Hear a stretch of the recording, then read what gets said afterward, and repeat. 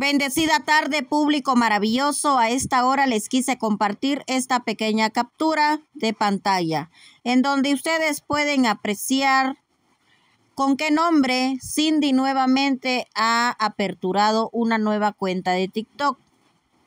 ¿Qué es lo que pasó con la otra cuenta? Pues solamente ella lo sabe. Lo cierto es que Cindy se ha estado ganando poco a poco el aprecio y respeto del público. Y sé que más de alguien desearía seguirla en sus redes sociales, pero que desconocen lo absoluto con qué nombre ella aparece. Por tanto, pues solamente pude mostrarles esta cuenta oficial y en ella ustedes podrán apreciar qué es lo que ella posee día con día, hora con hora de su diario vivir. Como mujer me gustaría brindarle un consejo edificativo y constructivo a Cindy, esperando que con lo que diga en este video no le falte el respeto a ella, mucho menos a ustedes público en general. Cindy es muy linda, es muy carismática. Yo sé que ella pues ha tenido una vida difícil por todo lo que ha atravesado en su pasado. Y por tanto no soy digna de señalar sus errores, porque como ser humano también he cometido errores por doquier. Pero como madre, desearía que ella ponga los pies sobre la tierra y analice si vale la pena conducirse por el camino de perdición. Que ella sea consciente cuál es el futuro que ella le quiere preparar a sus hijos. Que piense como madre. Yo sé que ella está soltera y no le debe explicaciones a nadie.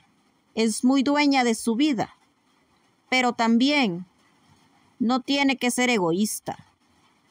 Que piense también en sus hijos, en que ellos también merecen crecer al lado de su mamita. Tal vez ella no pudo elegirles la mejor figura paterna, pero ella como madre tiene que mostrarles a los hijos que con o sin la figura paterna ellos podrán salir adelante. Yo sé que ella tiene que recomendar a sus hijos para ella poder buscar el sustento diario. Pero también me encantaría que ese tiempo que ella desperdicia con fulano, sutano y mengano que mejor lo utilice para ir y atender a sus hijos siendo consciente que es ella como madre la que tiene la responsabilidad y la batuta en las manos de conducir a los hijos por el camino de rectitud, es ella la que elegirá cuál sea el destino que sus hijos tengan el día de mañana. Yo sé que no es fácil cumplir con el rol de padre y madre, pero es algo que no es imposible con la ayuda de Dios y con la sabiduría que como madre debe tener. Ella debe ser consciente que siempre estará en el ojo del huracán. ¿Por qué? Porque como figura pública siempre estarán al pendiente de lo bueno o lo malo que haga. Y es algo que es de admirar de estas personas que tienen que tener la valentía de tolerar humillaciones entre más. Yo sé que no es nada fácil lo que ella hace, porque de una u otra forma está exponiendo su integridad y su reputación, pero está en ella. ¿Qué imagen quiere proyectarle al público? Si una imagen de calidad o una imagen desagradable. Deseo todo lo mejor para ella, deseo todo lo mejor para sus hijos y deseo algún día recapacite.